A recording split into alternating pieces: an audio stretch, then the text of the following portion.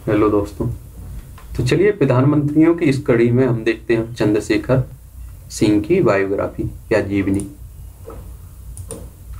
बहुत कम भारतीय राजनेता देश की समस्याओं को समझ पाते, उसी के लिए समाधान खोजने में सफल हो पाते। ऐसा ही एक विजयी राजनीतिक चंद्रशेखर सिंह जी हैं। बीपी सिंह के बाद भारत के आठवें प्रधानमंत्री बने अपने चंद्रशेखर सिंह जी। इनका कार्यकाल छोटा ज़रूर रहा है लेकिन इनको एक मज़बूत प्रधानमंत्री व उनके कार्यकाल को भारत देश की राजनीति में असरदार कार्य के लिए याद किया जाता है। पूर्व प्रधानमंत्री के कार्यकाल में बहुत अधिक अविश्वास उत्पन्न हो जाने के कारण देश की हालत बहुत नाजुक दौर से गुजर रही थी। उस वक्त ऐसे लीडर की ज़रूरत थी जो नि, निजी स्वार्थ से ऊपर उठकर राष्ट्र हित में कार्य करे। चंद्रशेखर ने इस परिस्थितियों परिस्थितियों में एक अच्छी राजनीति देश को दियो एक छोटी अवधि के लिए। कार्यकाल में होने के बावजूद भी पूर्णता राजनीतिक मत के साथ नेतृत्व के गुणों को प्रदर्शन, प्रदर्शित करते थे।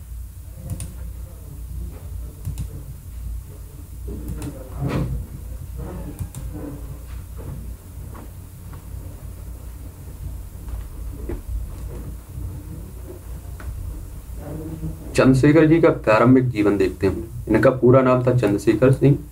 इनके जन्म स्थल की बात करें, जन्म एक जुलाई उन्नीस जन्म स्थान था इब्राहिम इब्राहिम पट्टी, उत्तर प्रदेश। इनकी मृत्यु हुई 8 जुलाई 2007 को दिल्ली में।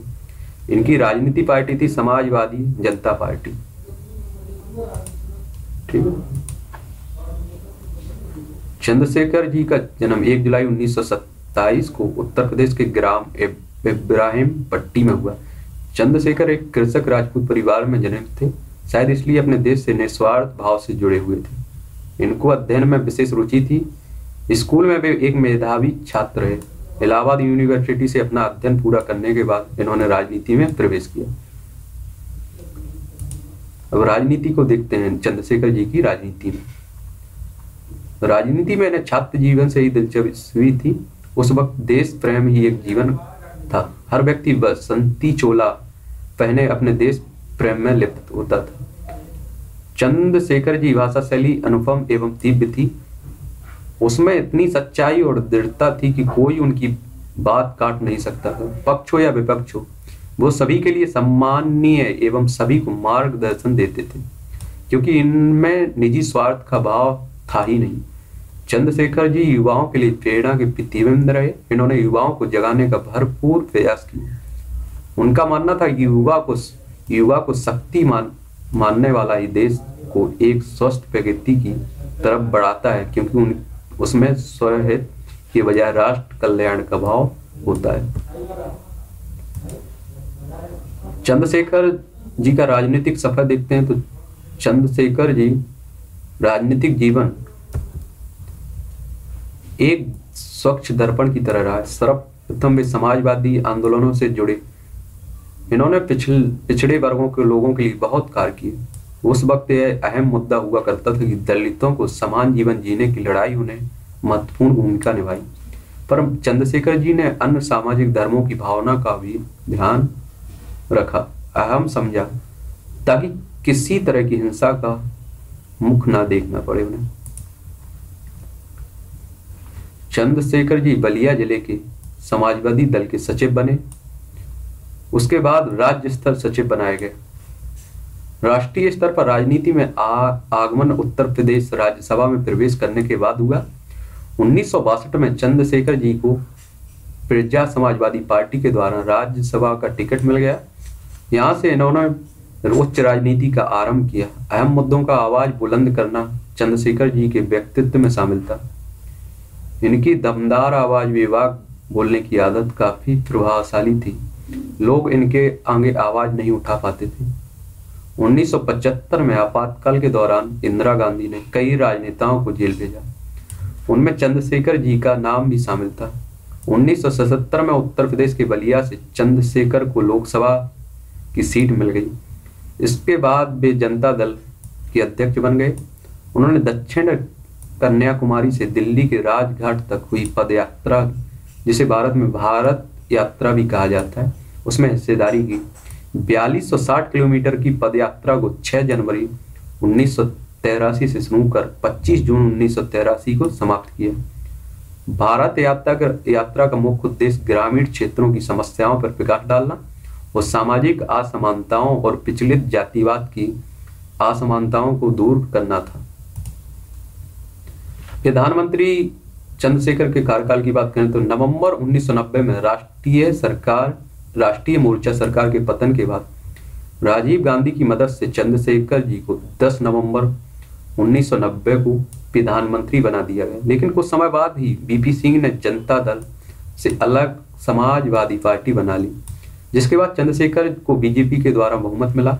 ये बात राजीव गांधी को अच्छी नहीं लगी। उन्होंने कुछ समय बाद चंद्रशेखर की सरकार से बहुमत वापस ले लिया, जिसके साथ मार्च उन्नीस में चंद्रशेखर जी की सरकार गिर गई। उन्होंने अपने पद से इस्तीफा दे दिया। चंद्रशेखर जी की रचनाएँ देखते हैं, क्योंकि एक लेखक थे। इनके विचारों में बहुत गहराई थी, जिसे उन्होंने अपने लेखन के ज़रिए उजागर किया। उस वक्त विचारों को, की अभिव्यक्ति सामान्यतः पत्य पत्रिकाओं के ज़रिए की जाती थी। यह एक बहुत प्रभावी तरीका होता था इस प्रकार चंद्रशेखर जी ने अपने विचारों को एक उड़ान दी। राजनीति एवं समाज से जुड़े मुद्दों को उन्होंने इसी तरह सबके सामने रखा। उसकी शैली इतनी तीव्र थी कि उनका विरोध करने का समर्थ किसी के पास नहीं था। उन्होंने यंग इंडिया नामक समाचार पत्र का संपादन किया। इनके समाचार पत्रों में यह जनता को जगाने वाली शैली को अपनाते थे। यह बौद्धिक वर्ग में भी प्रिय रहते थे। यह बेखौफ, निष्पक्ष नेता थे जिन्होंने कलम को अपना हथियार बनाया और क्रांति का आह्वान किया। आपातकाल के दौरान इन्हें भी जेल जाना पड़ा, जहाँ इन्होंने अपने विचारों आप बीती की कोई एक डायरी संगीत किया, जो बाद में मेरी जेल के नाम से प्रकाशित हुई। डायनमिक्स ऑफ़ चेंज नामक पुस्तिका की रचयिता भी थे यही।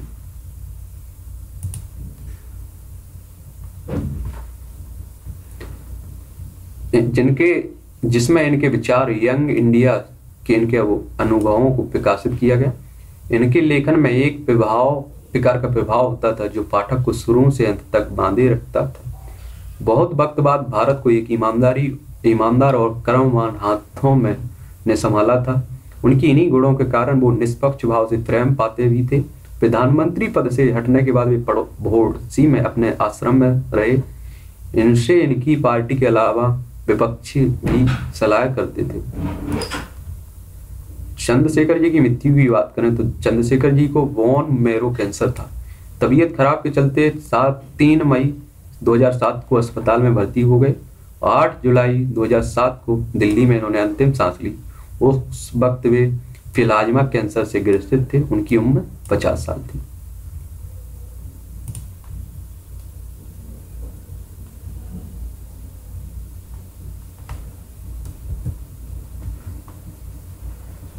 उन्नीस पंचानवे में चंद्रशेखर जी को उत्कृष्ट सांसद के पुरस्कार से सम्मानित किया गया।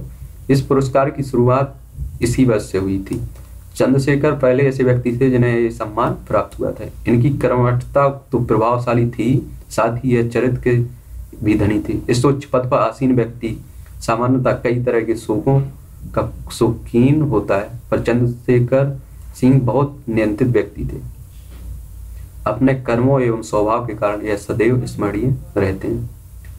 तो याद रखिए, उत्कृष्ट संसद पुरस्कार पहला इन्हीं को मिला था।